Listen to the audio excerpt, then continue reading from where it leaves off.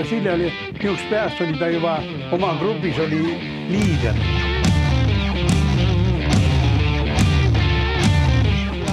ja vabandust, oli siis Liitvai ja Pauvõt on Eesti peale ja värav! Konstantin Vassiljev! mida teeb meie Vassiljev? ta oli minu jaoks ikka numero uno, nagu öeldakse. keskele tagasi, Vassiljev proovib ise kaugelt ja värav, üks-üks. On teatud söödud, mida teatud mängijad ei suuda anda ja tema suudab anda, et sellel ajal siis Eesti koondisele mängudele minnes oli kogu aeg tunne, et, seal juhtub häid asju.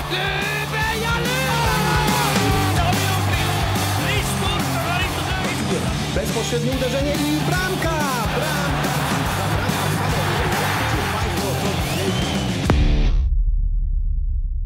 jätkame jalgpalliga. Eesti jalgpallikoondise poolkaitsjal Konstantin Vassiljevil on Poolas käsil raske periood.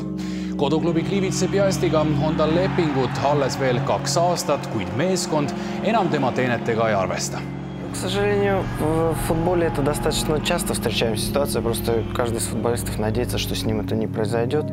ta alati ootab neid mängijaid koondises ja see on nagu äh, värske õhk tema jaoks.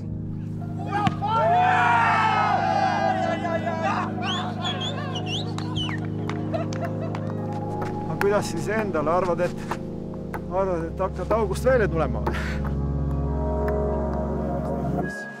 et siit on võimalik tõesti tegelikult ka selline kerge senderdus sinna nende meeste peale ja uuesti värava ette anda. ja Vassiljev läheb löögile!